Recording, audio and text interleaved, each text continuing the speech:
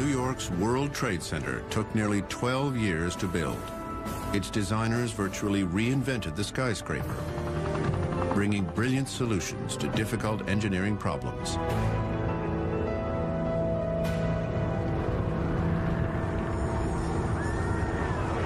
Then came September 11th.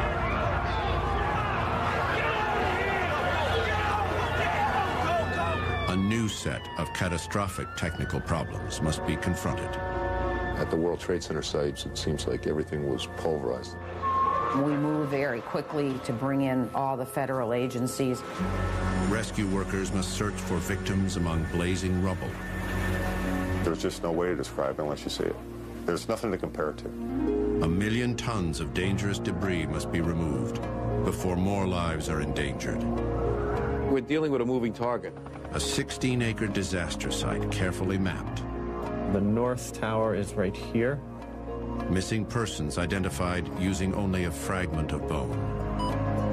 When you can say to a family, here are your remains, it does bring very good closure to them. And an engineering autopsy must seek the truth about how and why the buildings fell. We have looked at well over a thousand photographs, video footage. We studied well in excess of 200 hours in detail.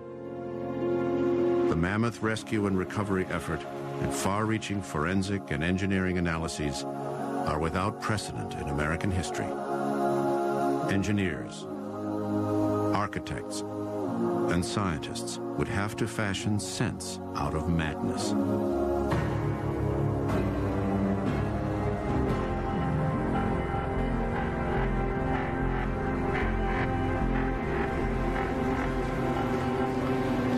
September 11th, 2001. A day of grief. A day of courage. A day no one will ever forget. This is how that day unfolded. Everybody said, you're nuts. Planes don't fly over Midtown.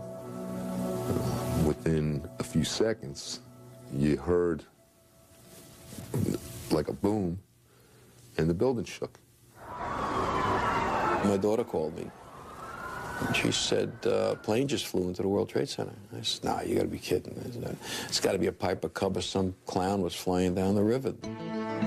At 8.46 a.m., American Airlines Flight 11 from Boston, with 92 aboard, traveling at a speed of 470 miles per hour, strikes the North Tower of the World Trade Center complex.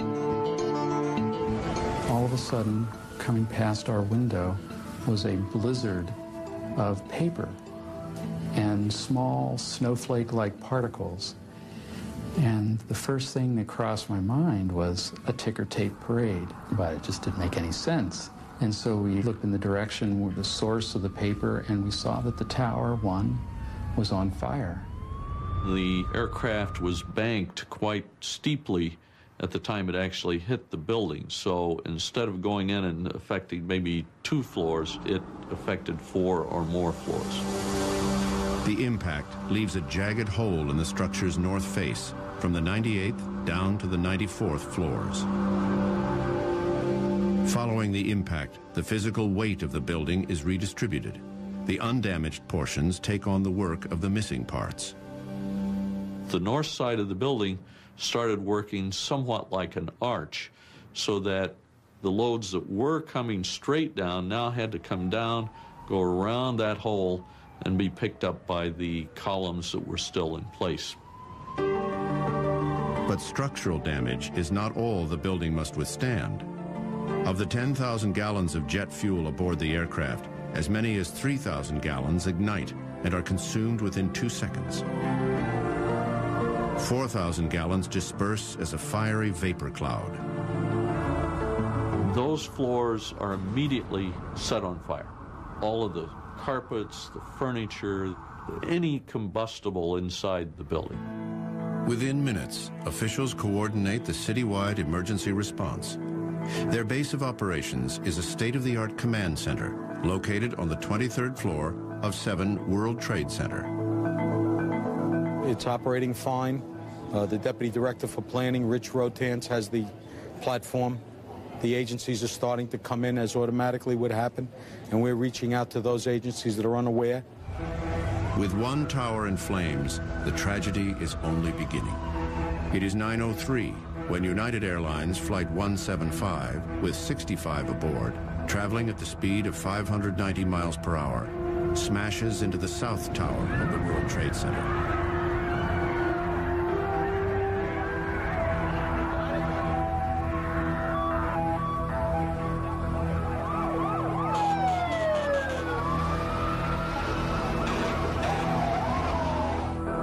Instead of a dead-on impact, as occurred with the North Tower, this aircraft strikes the corner of the South Tower. It rips a diagonally shaped gash from the 84th to the 78th floors. It was banked at a somewhat steeper angle so that more floors were hit. It was going almost 100 miles an hour faster than the one that hit the North Tower. And that makes it worse. The zone of impact on the South Tower is 20 stories lower than that of the North Tower. Therefore, the damaged structure is supporting a heavier load. All of these things combined added up to that building having more severe damage than the north building, and therefore we think that's one of the reasons that it came down first. The fires inside the towers weaken steel supports called trusses that hold up each floor. Thus compromised, the trusses give way. The South Tower lasts only 56 minutes before it succumbs at 9.59 a.m. It strikes the ground at a speed of 124 miles per hour.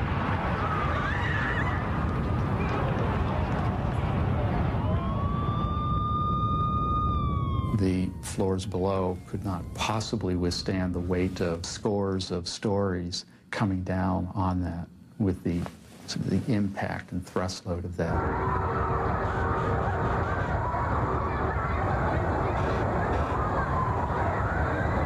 A dust cloud billows outward for blocks. Victims stagger away.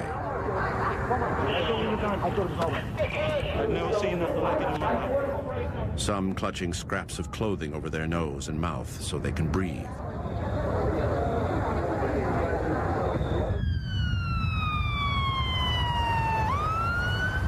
Alan Reiss, the man responsible for the day-to-day operation of the World Trade Center complex, is one of the lucky ones who escapes harm. He finds cover under an overhang at 5 World Trade. You couldn't breathe, you couldn't see. And then slowly you began to see a little light. Then you realized you were still alive. But we were covered with ash. It looked like the nuclear winter. After the South Tower falls, city officials manage the disaster response from their command center, but they won't be there for long. Somewhere in that time, and it's very hard to keep track of time during this, they had been ordered to evacuate number seven by the Port Authority. To this day, we don't know who gave that order, but whoever it was saved a lot of people's lives. At 1028, the television mast atop the North Tower spears straight down.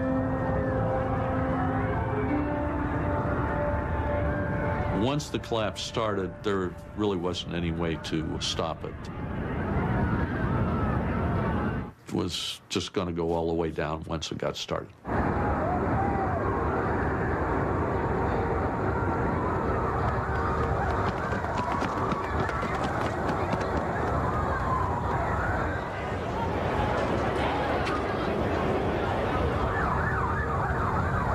Chaos in New York City. Power is down in lower Manhattan. Phone lines jammed with more than 230 million calls. Hundreds of firefighters trapped in the towers. Hundreds more race to the scene. When the world is coming down around you, you have to keep your head. It sounds trite, but it's the absolutely essential element to anything to do with emergency service communications. Falling debris from the collapse of the north and south towers ignites fires in the neighboring buildings of the World Trade Center. World Trade 4, 5, and 6 are ablaze. World Trade 7, the building housing the city's command center, burns unchecked for seven hours. At 5.20, it collapses.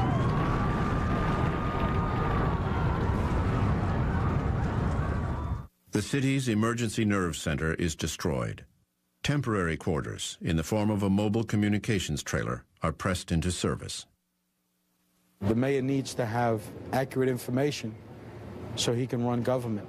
So the first thing that, that was already started was our command vehicle, which is an over-the-road coach converted to a uh, command center.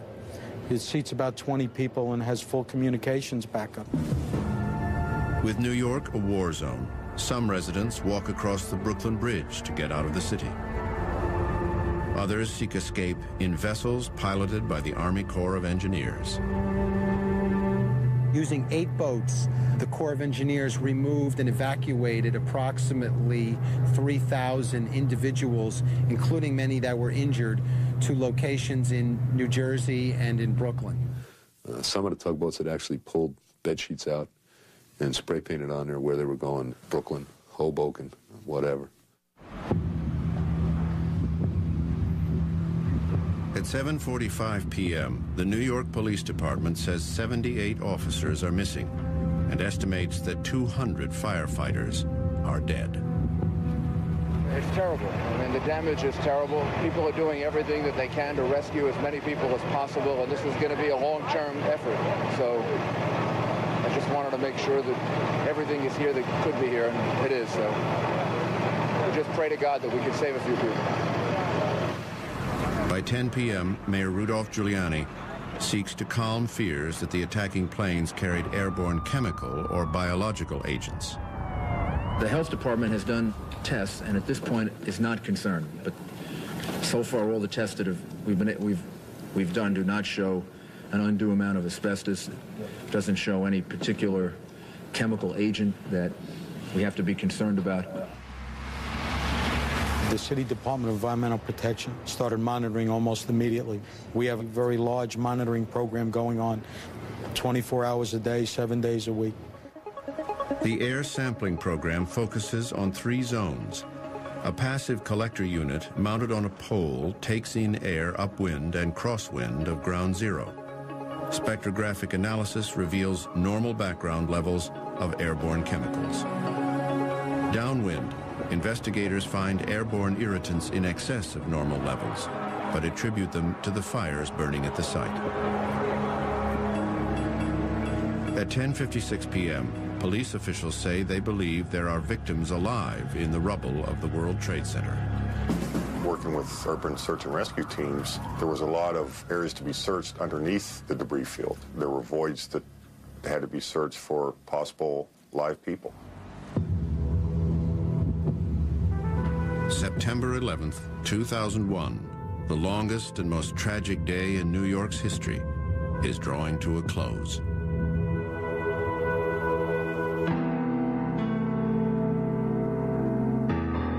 I lost 14 Port Authority employees that worked directly for me and then two supplemental employees. So 16 in total, plus mechanical staff, uh, 11 security guard staff, and it goes on, you know. Been to almost 40 funerals or wakes or memorial services so far. The 16-acre site would become the proving ground where rescue workers and investigators face the most difficult challenges of their lives. Watching World Trade Center, Rise and Fall of an American Icon on the History Channel.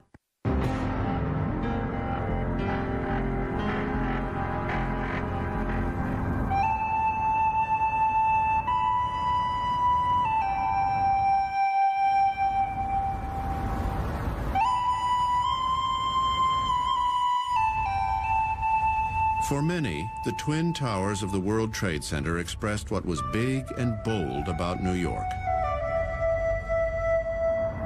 50,000 people worked in 10 million square feet of space. Each floor was a full acre in size. Each 110-story tower had 99 elevators. The entire complex was dense with the hum of humanity. On September 11th, 25,000 people were able to escape.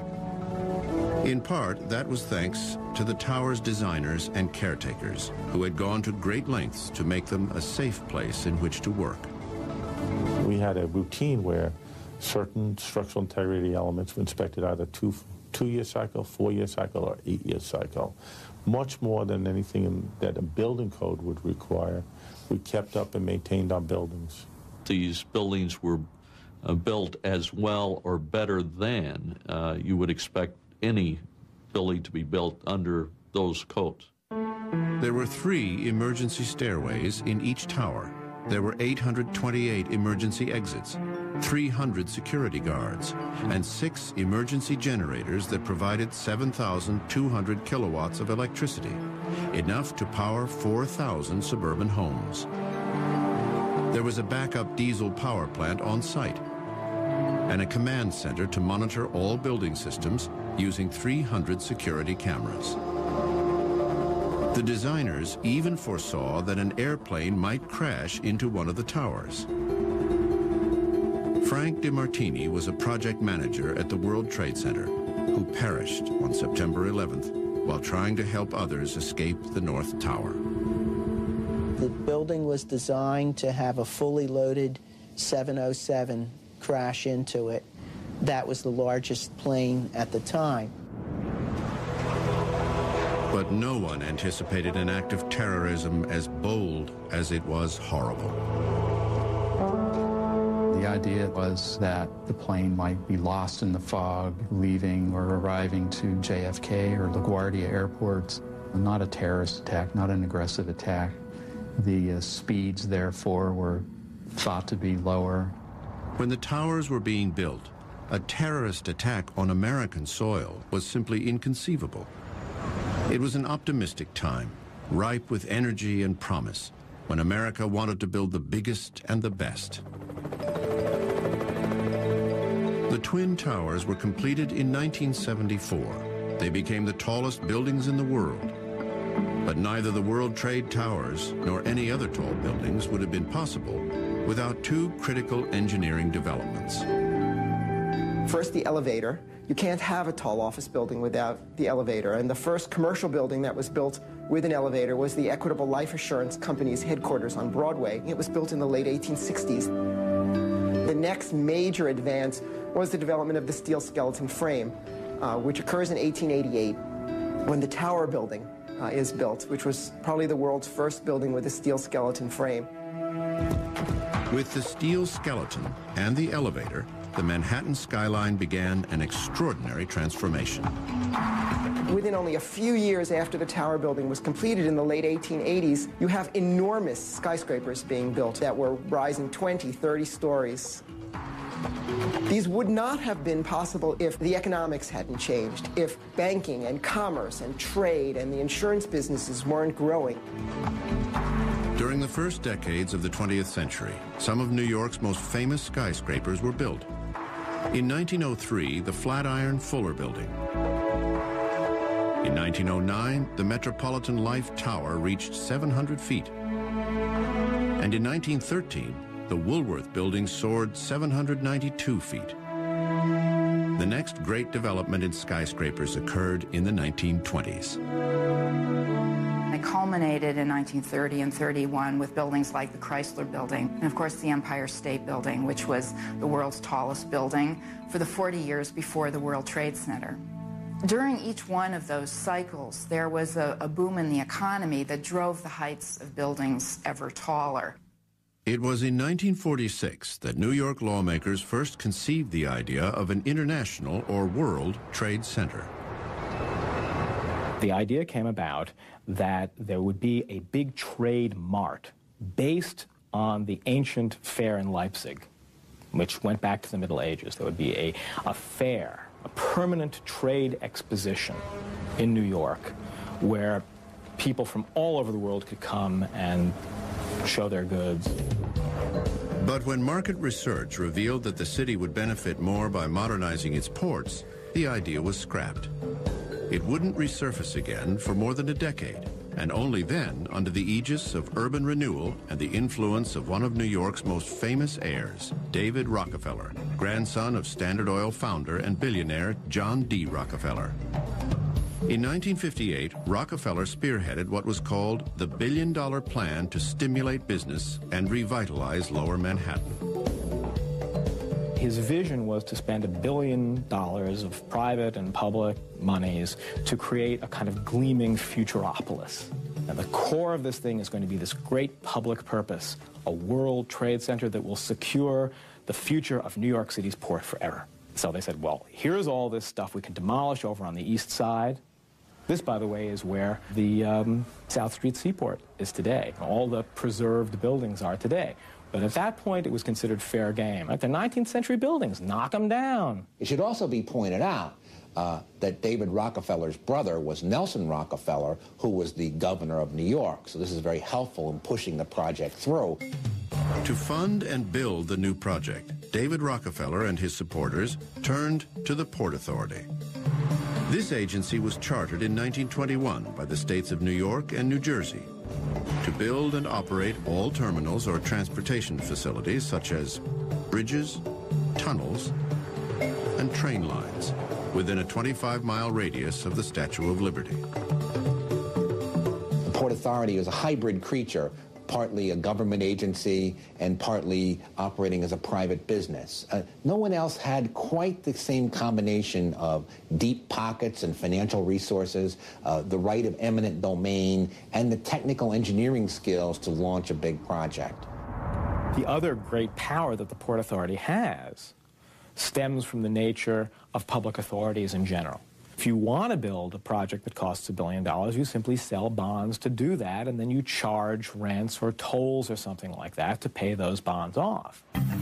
The self-supporting agency built, owned, and operated several megastructures, such as the Lincoln Tunnel and the George Washington Bridge. By the early 1960s, the World Trade Center project was added to its portfolio under the auspices of Port Authority Director Austin J. Tobin. There was a kind of professionalism that the Port Authority was known for in its engineering and its planning and its whole way of carrying things out, which was really impeccable. Really impeccable. And Tobin was the guy who did that, and he was the central point of control. He was the Sun King.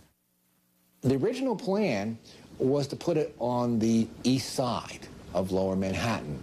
Bear in mind that the Port Authority is a bi-state agency. So understandably, uh, the governor of New Jersey was concerned. He said, well, you're building this uh, World Trade Center for New York. What are you going to do for us? The Port Authority agreed to take over New Jersey's bankrupt Hudson and Manhattan Commuter Railroad, today known as PATH, the Port Authority Trans-Hudson Line. This railroad had been running since 1908 and was in dire need of a facelift. Its terminus was on the west side of lower Manhattan. Once this deal was in place, that New Jersey was getting the path, New York was getting the trade center, gradually it hit everyone. Why not put it on the west side, and then you can do two projects at once?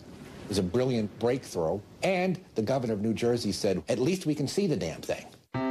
By 1962, the World Trade Center project was moved from the east side to the middle of a west side neighborhood known as Radio Row. It was a bazaar of retailers, mostly involving consumer electronics of some kind.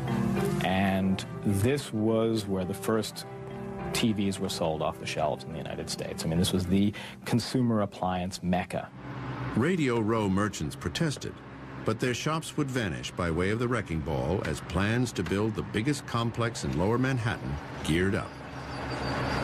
Ultimately, they didn't have much of an argument when you compared what, in the minds of the various judges who heard the cases, was the public good. Well, I mean, you're just a business. You can go and you can move someplace else. But this is lower Manhattan and the financial district has to expand. I mean, look, you guys got to get out of the way. The merchants were bought out.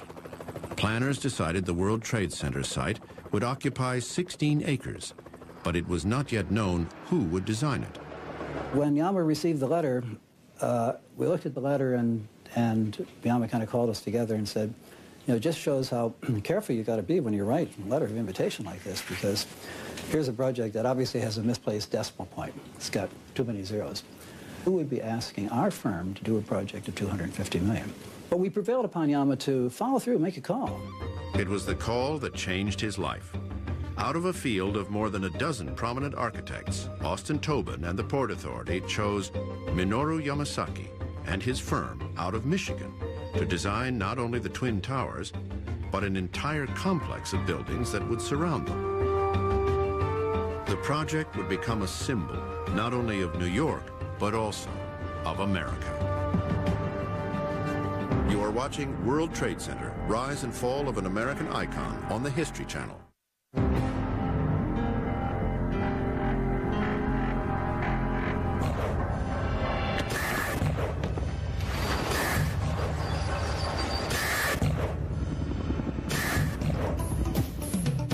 1962 when Japanese-American architect Minoru Yamasaki won the contract to build the World Trade Center complex.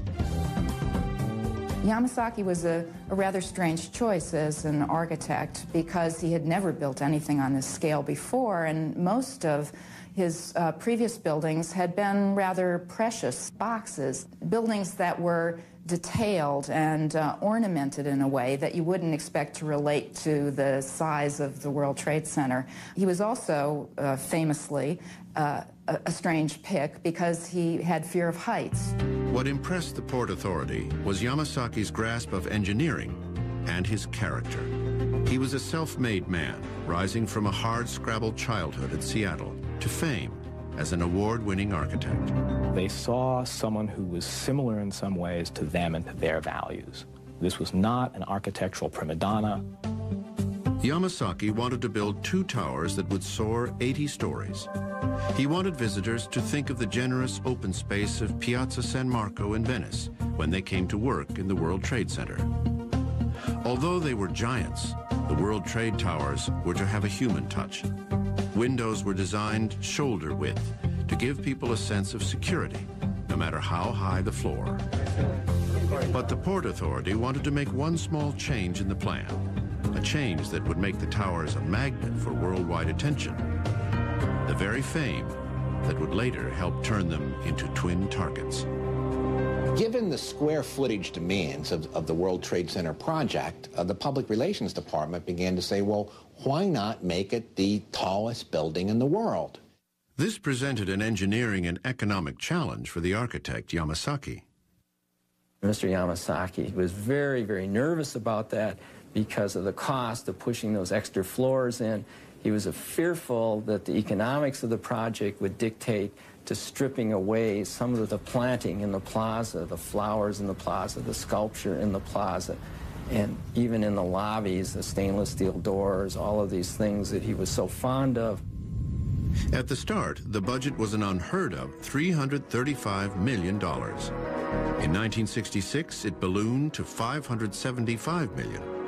The 1,250-foot Empire State Building, the tallest building in the world since 1931, was about to be eclipsed by the new 1,360-foot towers of the World Trade Center.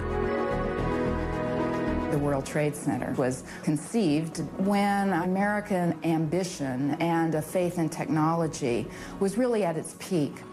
If you think of the other sort of supersized topics of the day like jumbo jets, you have some sense of the sort of ambitious love of bigness that the World Trade Center represents. To make the towers the tallest in the world, Yamasaki not only had to rethink the structure, but also had to consider the ground upon which they were to be built. A major problem in the construction of the World Trade Center was the fact that it was going to be built in lower Manhattan in an area which was fundamentally fill. You have to think about the geology of the area. Lower Manhattan represents the confluence of two large rivers and the ocean. Since the 1600s, ambitious landfill operations extended the waterfront of Manhattan by more than 700 feet. Dirt, rocks, and even old piers and wharves were used to build up the existing land. To reach bedrock, engineers would have to dig down 70 feet and at the same time not disturb the foundations of the surrounding buildings. If you start to dig a hole, what happens is that if you only go down three feet, your hole fills up with water. They needed to dig not just a three-foot hole, but a very, very large hole. The first obstacle, then, was how to control and remove the water while laying a foundation for the enormous structures. They had to come up with wonderful engineering techniques to actually pour that foundation uh, while all this water was pressing in on the, uh, on the foundation structure itself. The project engineers decided to utilize the slurry trench method. It had been used for subway construction in Europe and in Canada, and now would be used for the first time in the United States. For this project, excavating machines would dig a three-foot wide trench down to bedrock. As dirt and rock were removed, they would be replaced by slurry. Slurry is a mixture of water and bentonite, a type of clay that swells and would plug any hole along the side of the trench as excavators dug deeper. Workers lowered a pre-assembled seven-story high steel cage of reinforcing rods weighing 22 tons into the slurry trench. Then concrete was placed at the bottom of the excavation using a long pipe called a tremie pipe. As the concrete flowed in, it displaced the bentonite.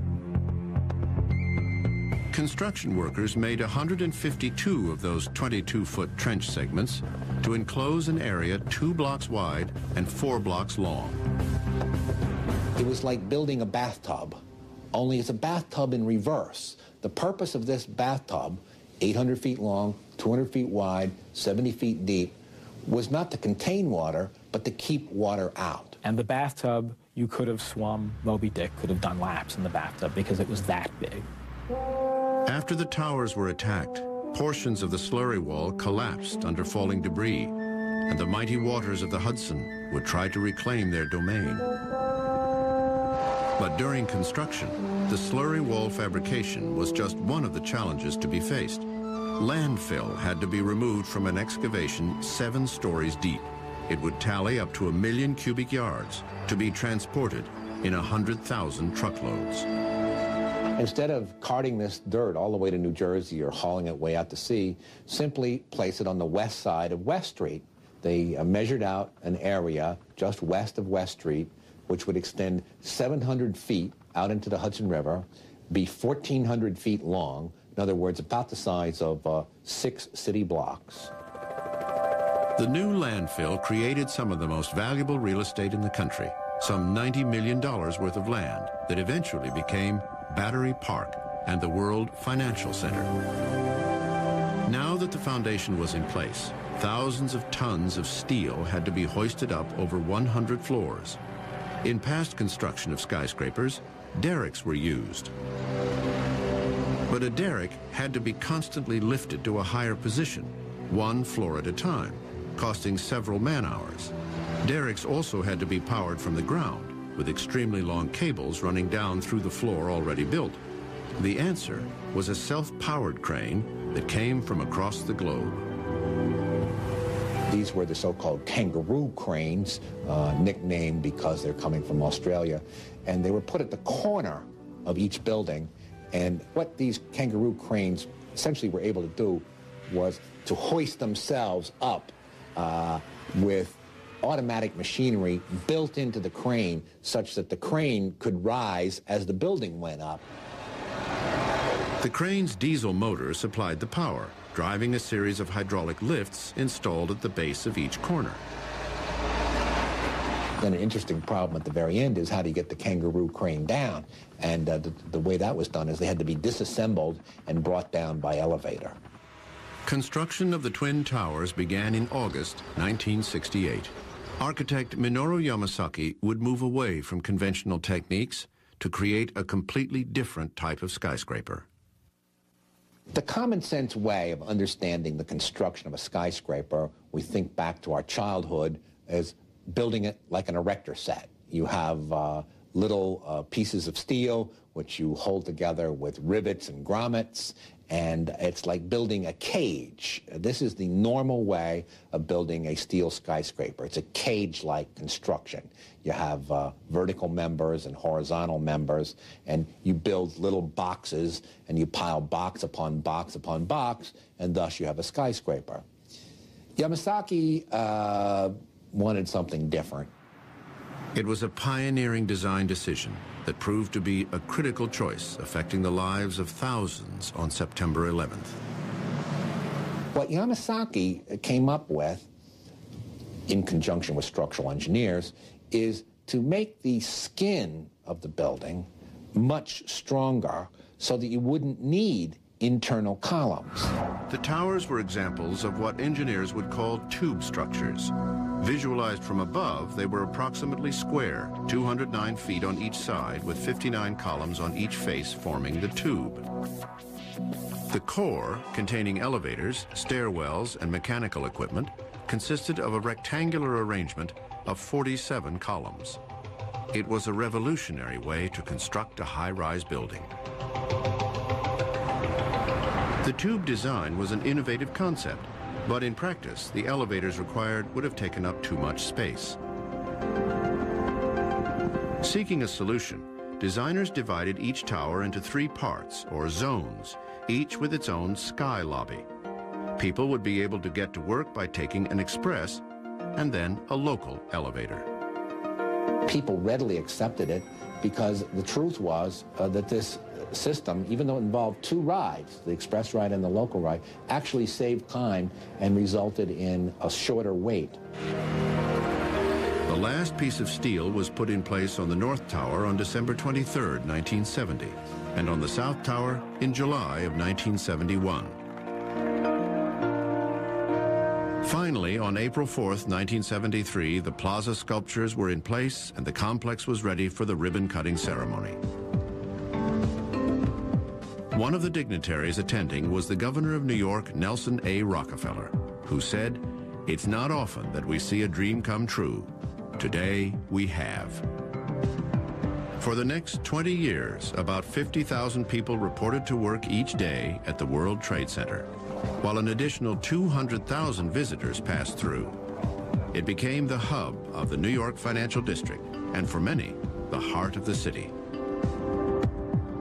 On February 26, 1993, the World Trade Center received the first major test of its structural integrity. A bomb with a destructive power equal to 2,200 pounds of TNT exploded in the parking garage of the second floor basement of the North Tower. Six people died and more than a thousand were injured when the bomb exploded at 12.18 p.m. All I remember is a tremendous loud sound and a blast of wind going behind me. And the secretary that was walking with me that day, and she was heading down the hall to the carpenter's office, both of her legs were broken. The explosion ripped through the basement floor, creating a hole 100 feet wide and four stories deep. But the damage was minimal, given the size of the bomb. That's because the trade towers were built to withstand hurricane-force winds of 150 miles per hour, more stress than was exerted by the blast. After the 1993 attack, what concerned engineers most was the slurry wall that kept out the waters of New York Harbor. The horizontal basement floors that helped support the wall were damaged. But within 36 hours, additional bracing solved that problem. 20 days after the blast, the World Trade Center reopened its doors. Extra security measures were put in place. Tenants and visitors to the building would wear electronic identification badges. Parking lot access was also restricted.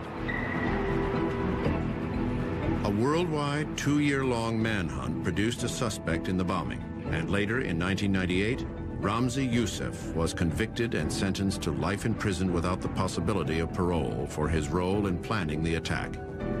Investigators believe that he is an al-Qaeda operative.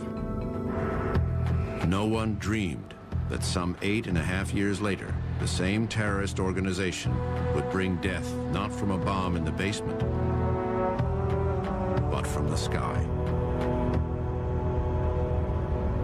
You are watching World Trade Center, Rise and Fall of an American Icon on the History Channel.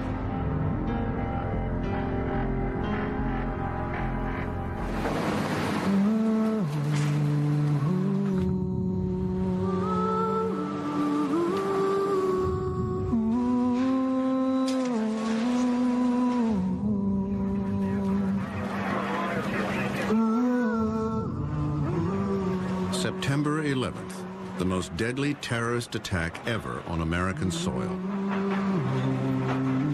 A day later, on September 12th, missing persons still numbered in the thousands.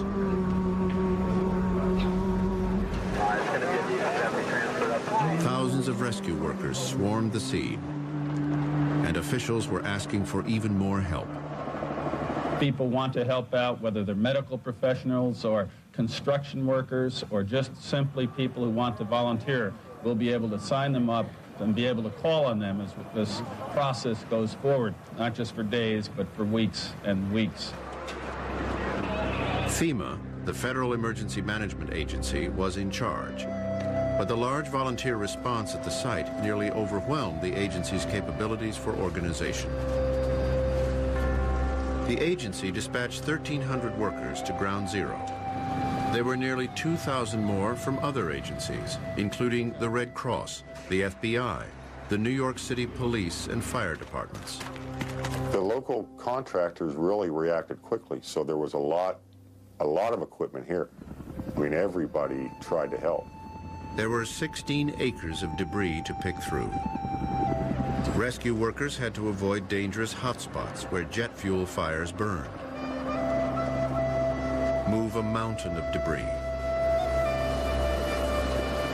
At first, bucket by bucket, because authorities feared that heavy machinery might endanger survivors buried in rubble. With all air travel grounded as a safety precaution, disaster response teams had to find other ways to get to New York. We had people who drove from Florida, drove from Kansas City, drove from Chicago. You know, these are key people, dedicated people who basically jumped in their cars and drove. Later, when airports reopened, and as FEMA continued to focus the rescue effort, urban search and rescue teams came from as far away as California. These are specially trained, equipped, ready to go fire department teams who are experts in urban search and rescue. Take that line slow. And those teams coordinated with the city to go down to the site and help the city as the city needed it. The coordination activity there has been phenomenal. Um, if you can only imagine every city agency that, that you've ever conceptualized of, every federal regulatory agency, every federal assistance agency, and trying to get all of these people on the same page has been a considerable task.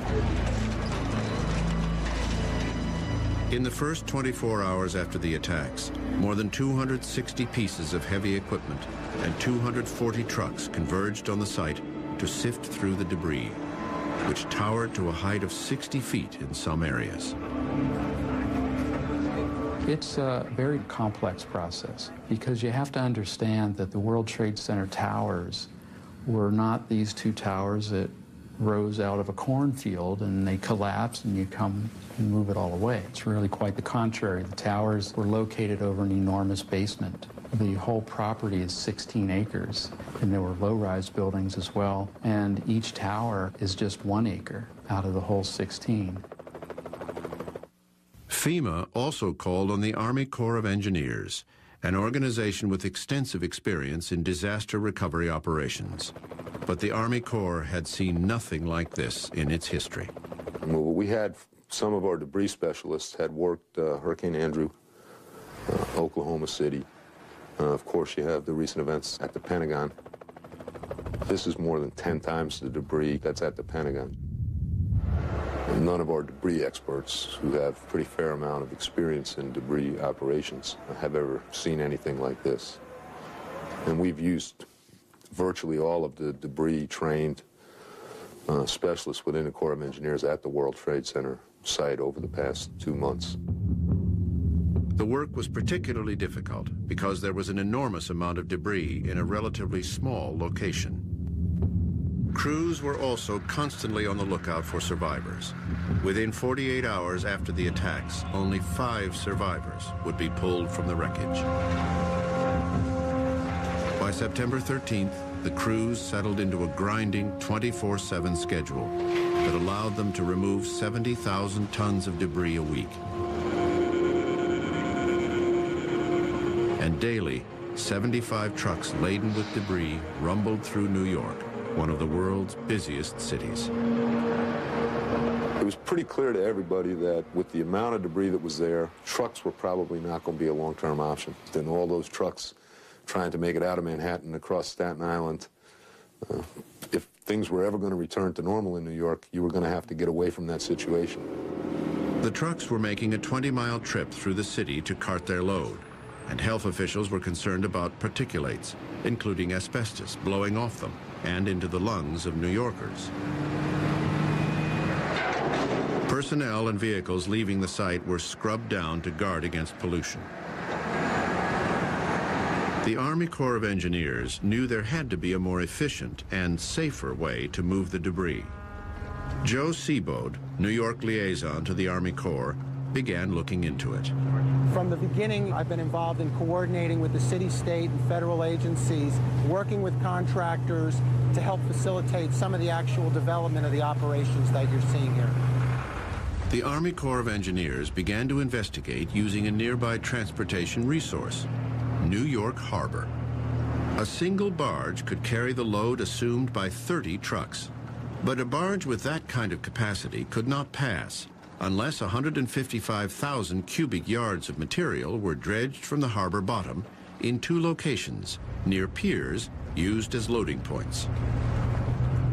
There was permitting issues, disposal of dredge material issues, survey work, analysis of the types of equipment that could efficiently operate in this type of an environment. As Joe Seebode worked through the logistics before he could begin dredging, the Corps focused on another area of its expertise, creating maps that helped recovery workers navigate the disaster site. The Corps prepared a series of enhanced views of the site, providing rescue workers with maps that showed where the debris still burned. It was an automated program similar to your computer-aided design software. It could then superimpose uh, some of the uh, infrared temperature readings that were being taken uh, by remote sensing devices and other means and, and display it in, in different ways. Even more sophisticated was a process called light detection and ranging, or LIDAR. By early afternoon on September 15th, this Piper Navajo Chieftain aircraft, equipped with lasers, gathered data from a vantage point 5,000 feet above the disaster site. Then the New York Office for Technology, the agency overseeing the operation, called in an expert to turn the raw data into useful maps. We got a call saying, you're the only operational environment in town. Get your staff together and start making maps. For more than seven years, Dr. Sean Ahearn has been mapping every square inch of New York City from the sky. Suddenly, his work was a matter of life and death, because rescue workers could use his maps to safely find their way around Ground Zero. We mobilized instantly, we worked all night.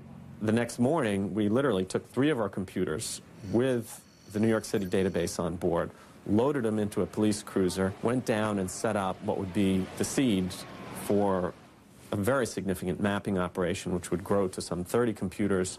It's a really professional mapping operation.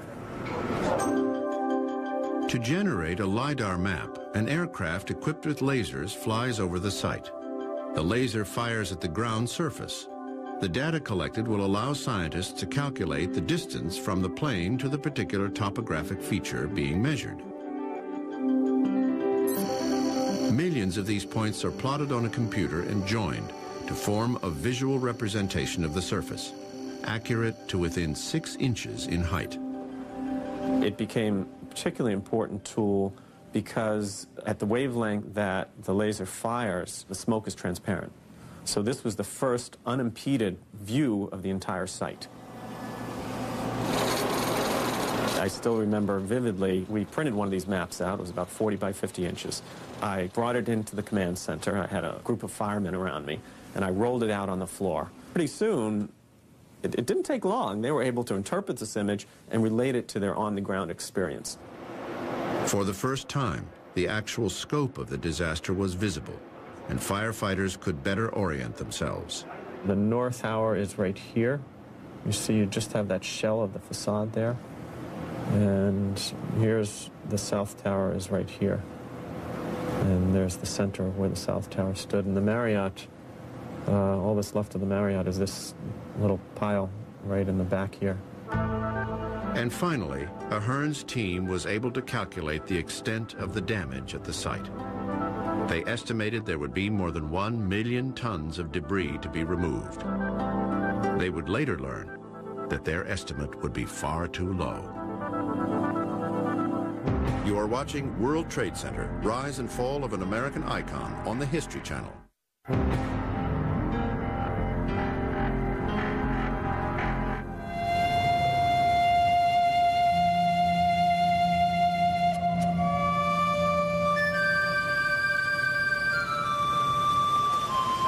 For the first week following the disaster, rescue and recovery workers had combed through the wreckage of the World Trade Center, hoping to find living victims or discover their remains.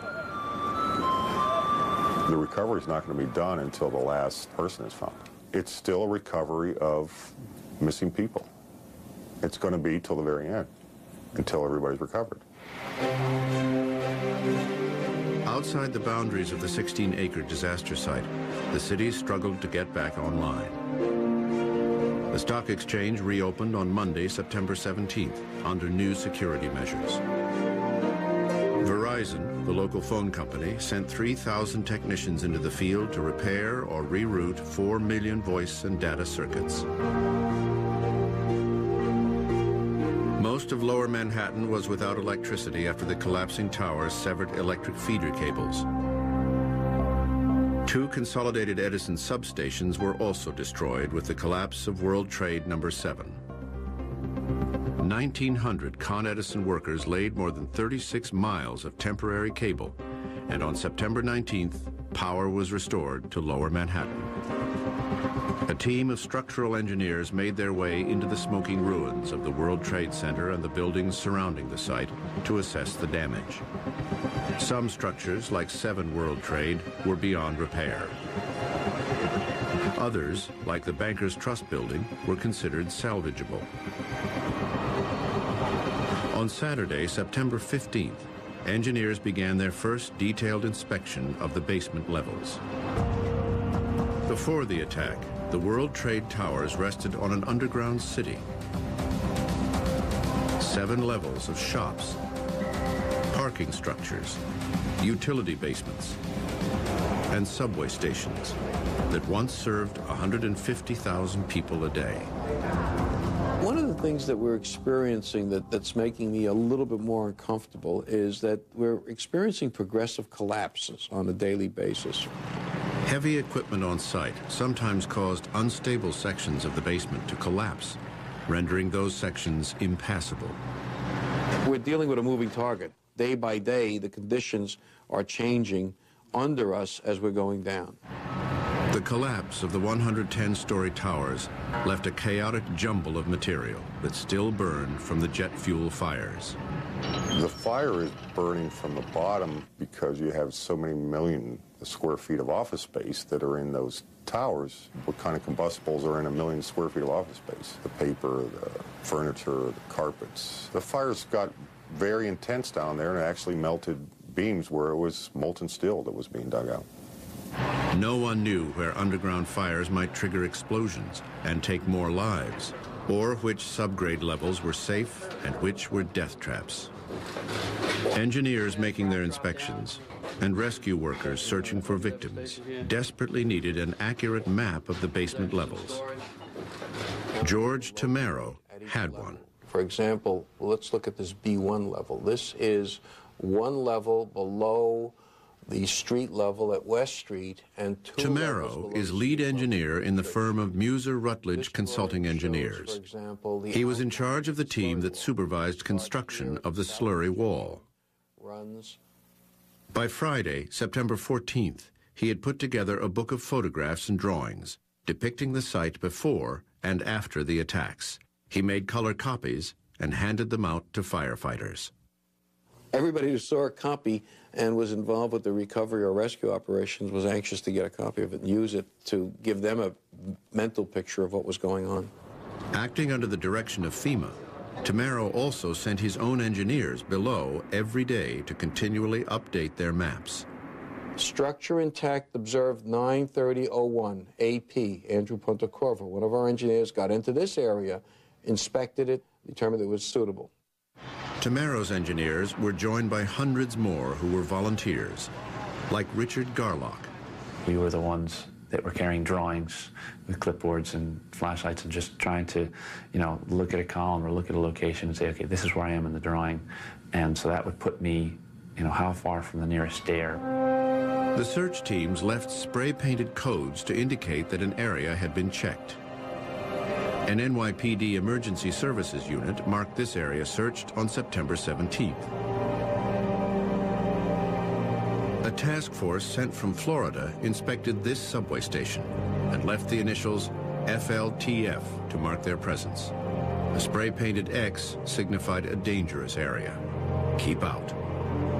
The process would be repeated hundreds of times in the weeks to come. Where neither humans nor dogs could go, robots made the trip. Within six hours of the attacks, the first remotely controlled search and rescue robots were on the scene. They beamed back video of the devastation and deployed microphones ready to pick up a human cry for help. Later on, robots would find the remains of five victims of the attack. But by Monday, September 24th, Mayor Giuliani conceded that rescuers would need a miracle to find any more survivors beyond the five rescued in the first few days. With hope of a dramatic rescue all but gone, the work at Ground Zero became a recovery and debris removal operation. Joe Seebode of the Army Corps of Engineers had finally secured his dredging permits to create the channel that would allow large barges to carry off the wreckage of the World Trade Center. That survey showed that the average water depth was about four to five feet in here. And having worked with Weeks Marine, the contractor to New York City, we established that they needed about 15 feet to properly operate a barge in this location. First, divers like these took surveys of bottom conditions. They found debris, pier pilings, and cars, all of which could not be allowed to float free because they potentially could create a navigation hazard. Clamshell dredges on 144-foot-long barges were equipped to work day and night. An 1,890 horsepower winch powered a grappling device capable of lifting material weighing 80,000 pounds.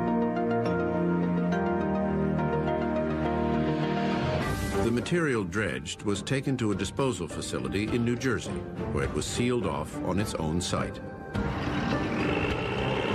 The operation continued for nine days until there was sufficient draw for the debris barges to pass unhindered. That's worked really well, and we've been able to move now uh, over 500,000 tons uh, that they've moved. Uh, most all, of the largest portion of that has gone by barge. Meanwhile, engineers completed their inspection of the subgrade levels beneath the tower footprints.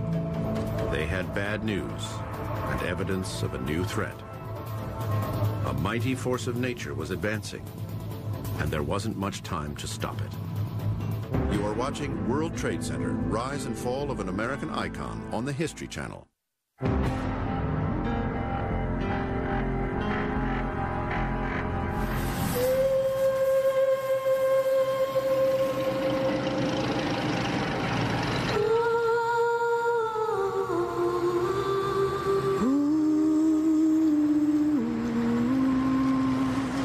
Workers searched for victims and removed debris at the largest disaster site in America, far underground, there were signs of more trouble.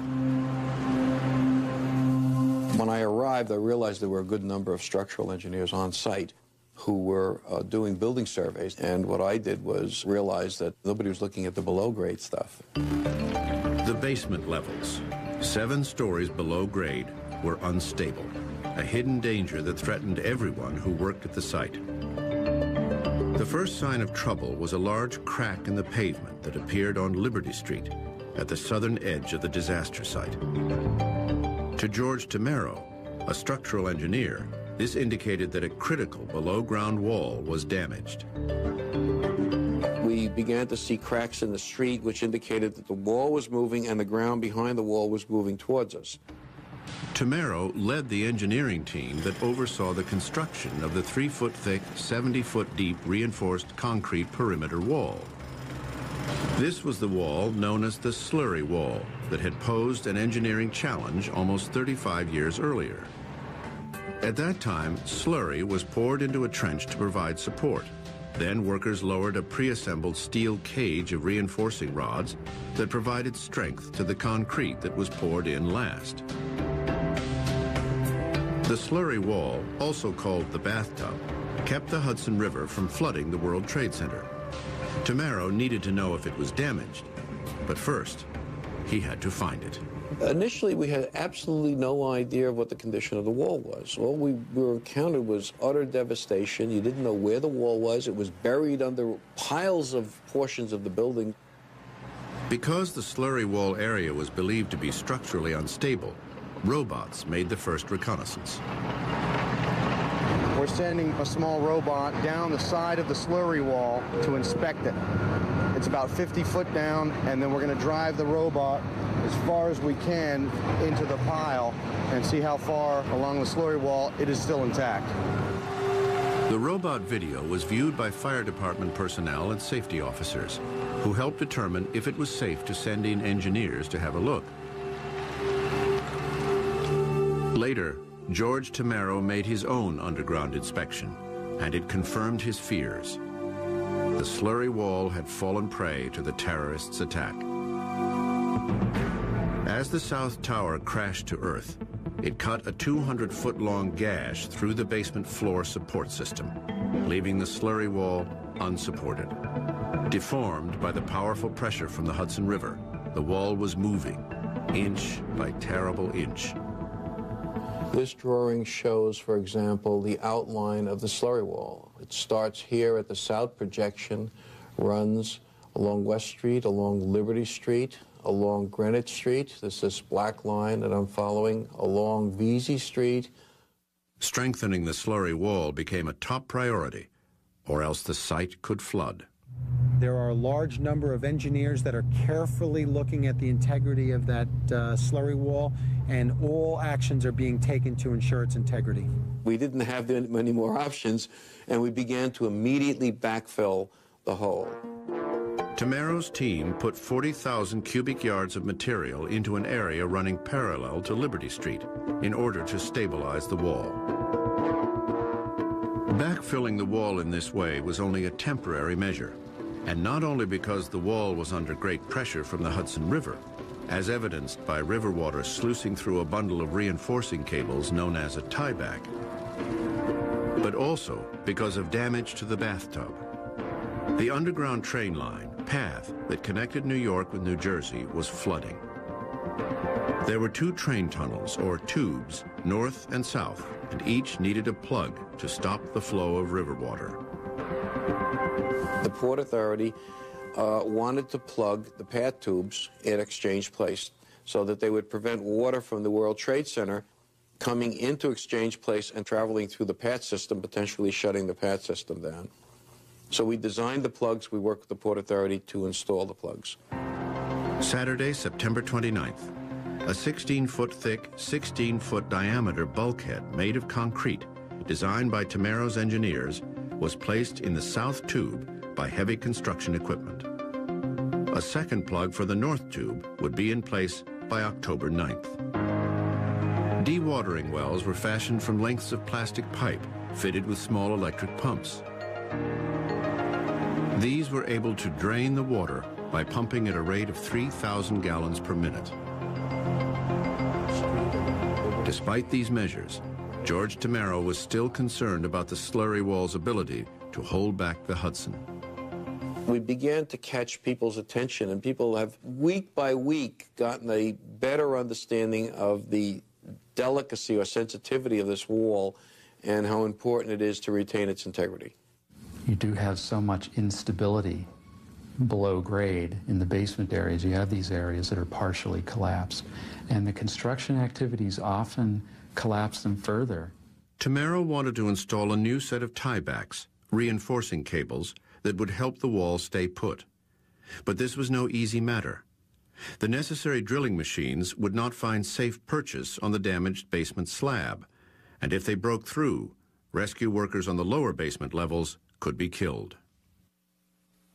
There are two tools that are proving to be practical at this site. One tool is a track-mounted machine that sits on a set of Caterpillar tracks, and it just drills through the face of the wall, down, and does all of the operation, independent of the face of the wall. Where the basement slab was weakened or destroyed entirely, engineers worked with what are called floating leads. It's a drill rig that's hung from a crane outside the walls, and it permits the driller to get to the face of wall without risking his equipment or his personnel. Wall was stabilized. Tamaro's engineers felt their fixes would hold back the river and prevent the site from flooding. On the surface, firefighters and others continued to comb the debris for remains. Aside from huge pieces of twisted steel from the towers, there was little that was recognizable in the debris. Shrapnel-like fragments, gray dust. No one had ever seen anything like it, even at the site of the Murrah building in Oklahoma City, also destroyed by an act of terrorism. They said, you know, in Oklahoma City, you could see pieces of desks and chairs, and there was something that told you that uh, this was an office building. At the World Trade Center site, seems like everything was pulverized. With no point of reference, recovery workers had no way of knowing if they were in the right place to find anything. The New York City Fire Department, in an effort to impose order, created a grid map for each sector of the disaster site, but it wasn't much use, given the magnitude of the destruction. It's very difficult to figure out, obviously, which grid cell you're in. When you're in 16 acres of pure destruction, there's very little that you can reference it to. The disorientation was keenly felt because recovery workers believed that charting each discovery might help them locate concentrations of remains, and engineers at the site believed that locating specific pieces of each building might help them understand how they collapsed. Dr. Sean Ahearn thought he might have a solution. We went upstairs and, and, and uh, Chief Norman was, was on duty, and um, I explained to him that uh, who we were, that you know we were trying to deploy a, a GPS application. GPS, a global positioning system that would permit precise and instant geolocation. A GPS unit works by receiving signals from satellites in orbit around the Earth. The unit precisely measures the distance from its position up to the position of the satellites. By triangulating these reference points, the unit reads out the user's precise location. A company called Lynx Point helped Ahearn put customized GPS units into the hands of firemen. These units combine the geolocation and identification functions in a single software package. Lynx Point, who specializes in geolocation, put together a GPS application which enabled the firemen to go out, get a GPS location, get a timestamp, put a barcode on the bag containing the item, scan it, grab a drop-down menu which enumerated what the item was, boom, there they have it. Then they could take those points, bring them back to a mapping package, and map those points in space and time. But even as recovery workers picked through the rubble for human remains, there were doubts they would be able to identify what they found. The victims' families were hoping that the tireless work of the ground crews would bring them closure. Authorities knew that putting names to the remains found would require advanced technology. You are watching World Trade Center, Rise and Fall of an American Icon on the History Channel.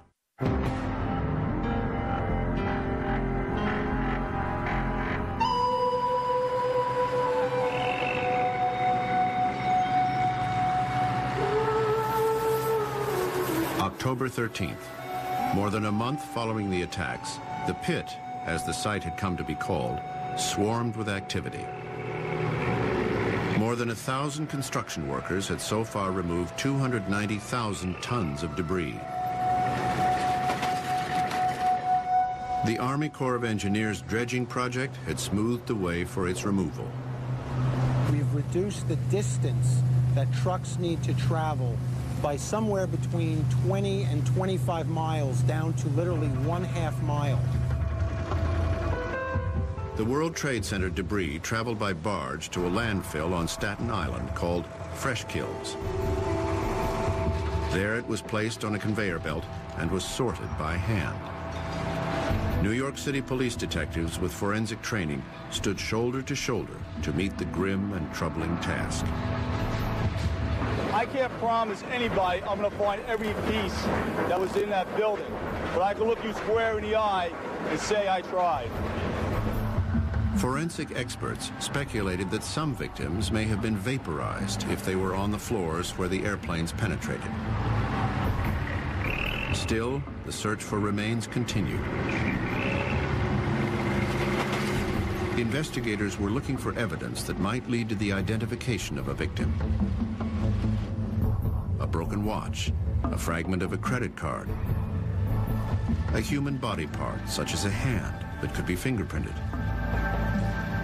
A few victims might be identified by traditional methods, such as jewelry, tattoos, and dental records. Most would require a DNA match. At the Bode Technology Group in Virginia, thousands of vials, each representing an extinguished human life, began to arrive. One by one, they were logged into the computer tracking system.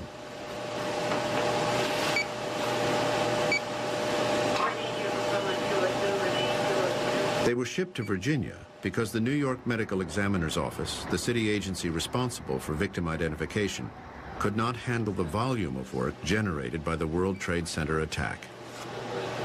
The first week, we put a process in place, and we were able to process a thousand bones in the first week.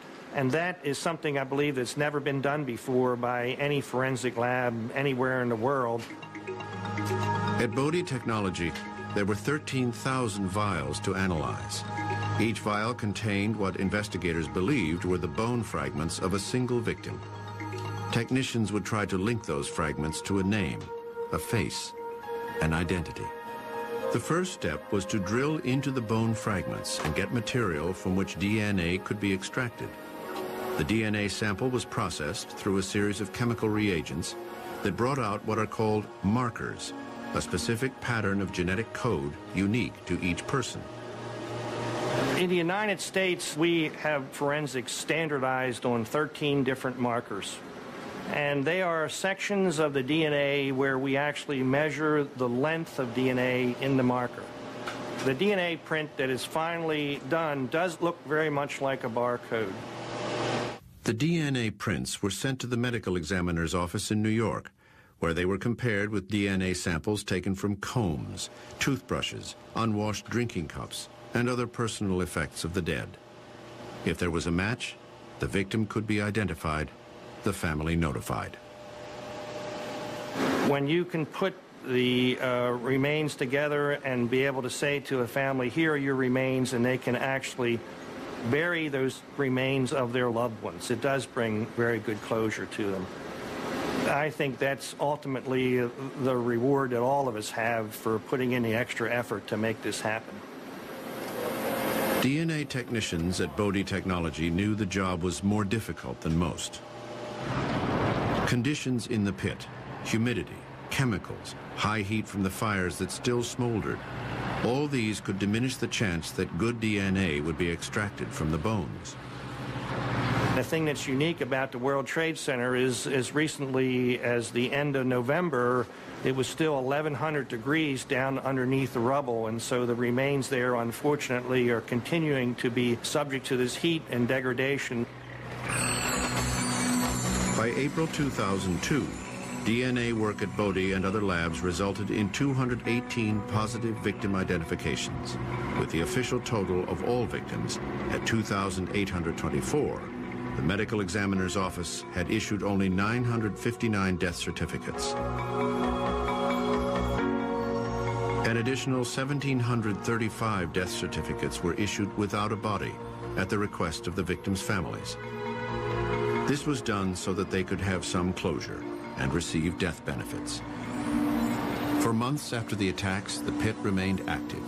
Engineering experts made their way among steadily decreasing piles of rubble, deciding where heavy machines might be brought in safely. Our role is to make sure that the structure below is um, intact. So we've been doing condition assessments and that it is safe to carry the loads of cranes and the backhoes and grapplers that the contractors are using to remove debris. We are still doing our coordinating role. We've removed about 750,000 tons of uh, debris and steel. Still have another 650 or more thousand tons to go. Other workers recovered cars and evidence stored by law enforcement agencies, and even gold stored in bank vaults. More than $230 million of precious metals were safe inside the Bank of Nova Scotia's vault in an area that narrowly escaped collapse. Following a recovery effort, every last gold, silver, and platinum bar was accounted for. As April turned to May, firefighters continued to rake the dust for any sign of a victim. Whenever one was found, all activity ceased out of respect. People do not want to give up searching because it's fellow firemen, it's fellow police officers, it's civilians. You're hopeful just if you could find one. In what many described as a pilgrimage, scores of visitors came each day to see the site. At the six-month anniversary of the attacks, 88 high-powered searchlights were switched on to create a ghostly vision of the Twin Towers. The tribute in light remained for 32 nights. Finally, on May 30th, 2002, the recovery and cleanup effort drew to a close. With the tolling of a fire bell and the sound of taps, Americans would mark the transformation of the World Trade Center from disaster site to hallowed ground.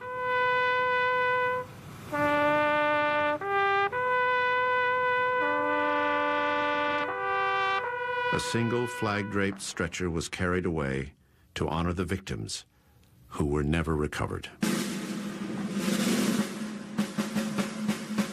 It had taken 1.5 million man-hours to clear the site. Some 1.8 million tons of debris carted away in more than 107,000 truckloads.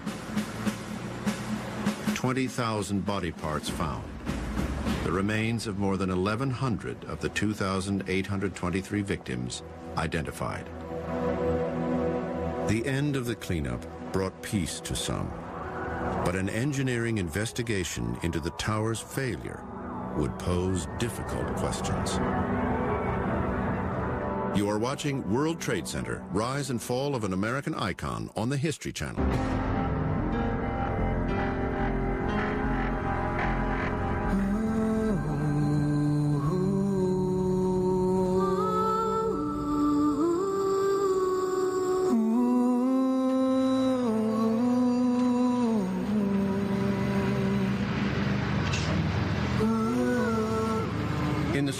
2002, with the rubble cleared away, Ground Zero might have looked like an ordinary construction site. But its 16 acres held many souls and many secrets. Gene Corley, the engineer who was in charge of the federal inquiry into the destruction of the World Trade Center site, was ready to reveal his findings. He had formed a data collection team comprised of the nation's leading structural engineers and fire protection experts. For six months, they worked to understand the sequence of mechanical failures that brought the towers down. Their investigation included a careful inspection of steel columns from the towers that were brought to scrapyards.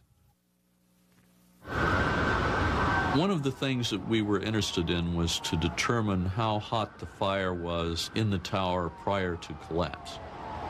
The way to determine that is to find pieces of steel that were involved in the fire but had not been damaged further by the fire that occurred after the collapse.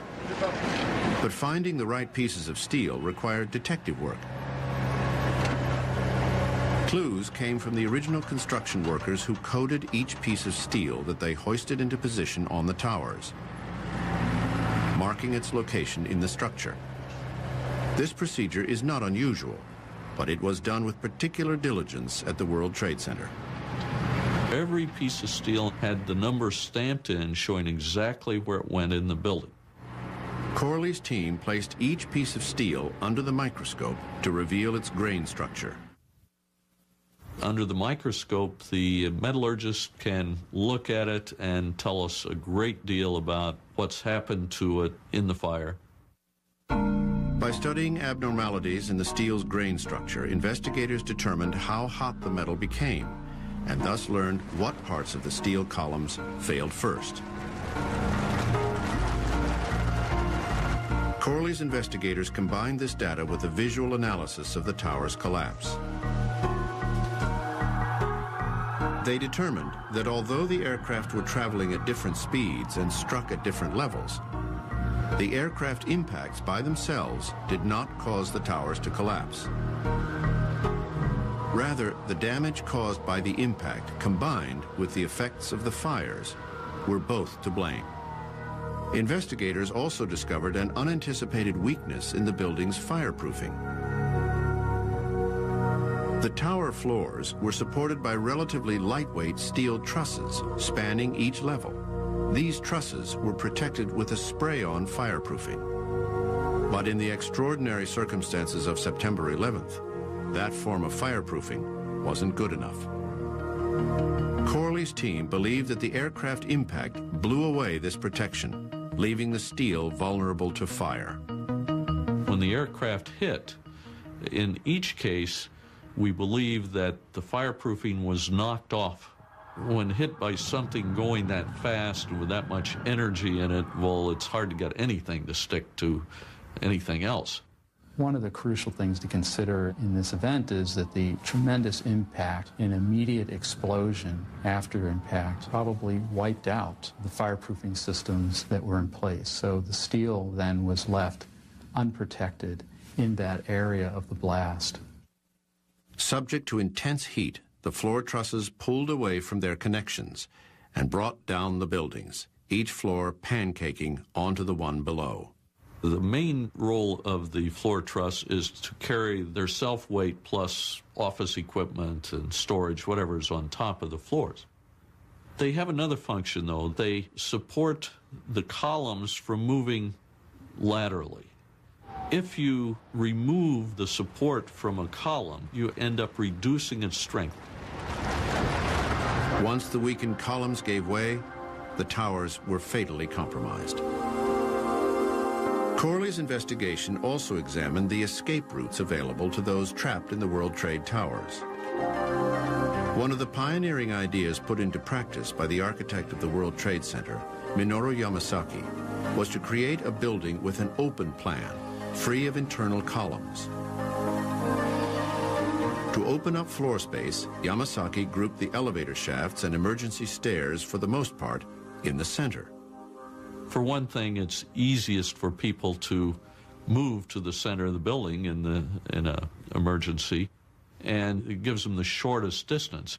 On most floors, the three staircases were tightly clustered in the center core of the building. In the North Tower, they were struck by the incoming aircraft.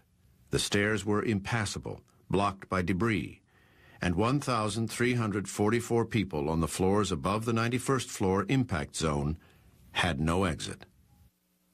So far, we have not been able to identify anyone that did get out from above where the plane hit the North Tower.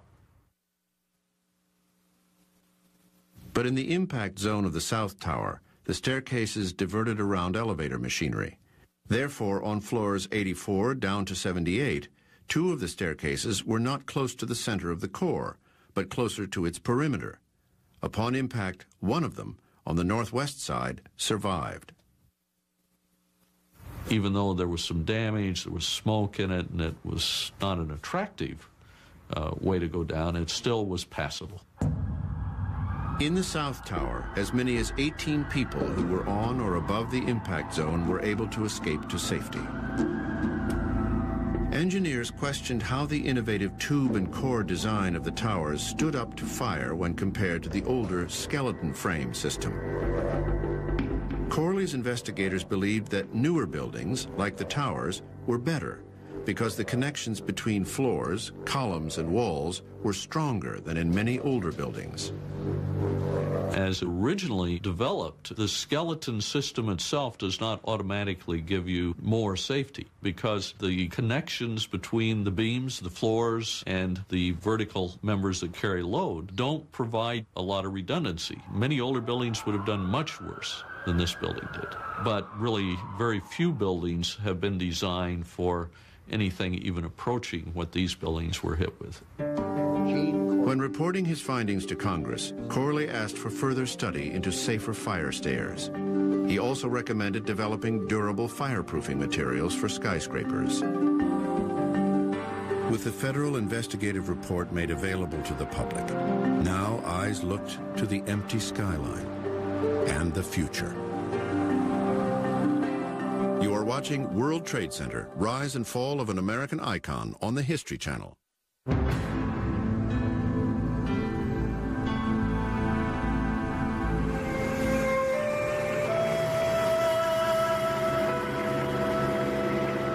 In November of 2001, a joint state-city corporation was formed to oversee the revitalization of not only the World Trade Center site, but of all Lower Manhattan. There's a broad number of public agencies involved, the Port Authority, the MTA, the Department of Transportation. We also have the intersection of private interests. But I really think the overriding constituency is the public, and we work hard to bring them to the table, and that's really what the Lower Manhattan Development Corporation's role has been. In the summer of 2002, the Lower Manhattan Development Corporation released six design plans for the World Trade Center site. All were rejected by the public. Six months later, after reviewing 400 submissions in a global search, one design plan won the approval of both the LMDC and the public. Well, I think the biggest concern was how to reconcile two seemingly opposite points of view. As you know, New Yorkers were divided. Half of New York said, you know, build nothing there. It's a memorial site. And the other half said, you know, just build in defiance of terror, in defiance of the tragedy. And I sought to combine these two seeming opposites into unity, into harmony. And I called my project Memory Foundations. Daniel Libeskind's design leaves space for a 4.7 acre memorial, three stories below street level, that will house the remains of the unidentified World Trade Center victims. The memorial site will leave exposed a portion of the slurry wall as well. The design plan also includes five towers, offering commercial, retail, and residential space, a performing arts center, museum, transportation hub, and the 1,776-foot Freedom Tower.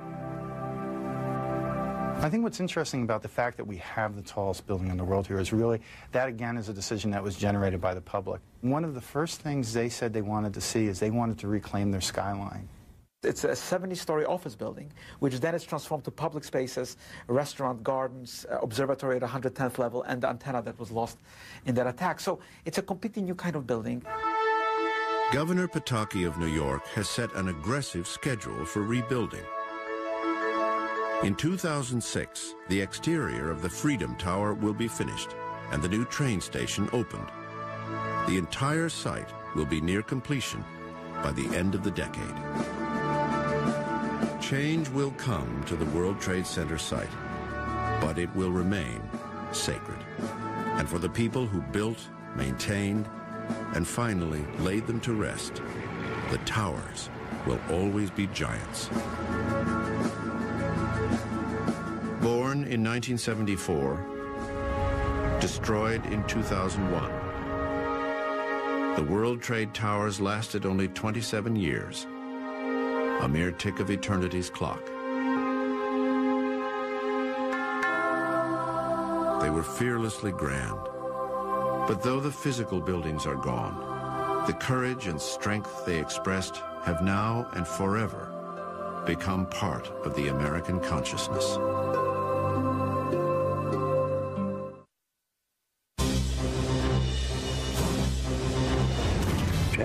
Riveting films. Ten award-winning filmmakers. One unprecedented event. Ten days that unexpectedly changed America. Sunday night at 9, 8 Central, only on the History Channel.